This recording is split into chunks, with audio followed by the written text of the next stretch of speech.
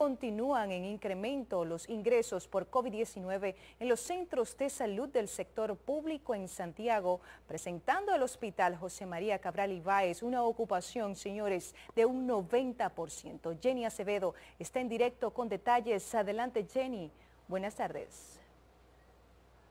Gracias, buenas tardes. Desde la dirección médica de este hospital de referencia regional norte se informó que solo el 10% de su capacidad para COVID-19 está disponible. El Cabral Ibáez cuenta con un total de 40 camas COVID, 14 de estas destinadas para cuidados intensivos. Una ocupación en pacientes de aislamiento de un 90% y de UCI COVID un 50%.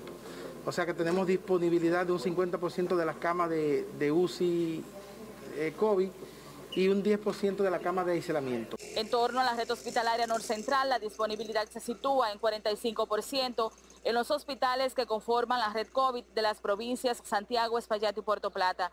El director del Servicio Norcentral de Salud, Manuel Nora, manifestó que la situación es de control. Con la ocupación del COVID, la red hospitalaria está bastante holgada. Nosotros tenemos una disponibilidad buena de camas, tanto de cuidado intensivo como de camas de de ocupación de internamiento y de ventiladores.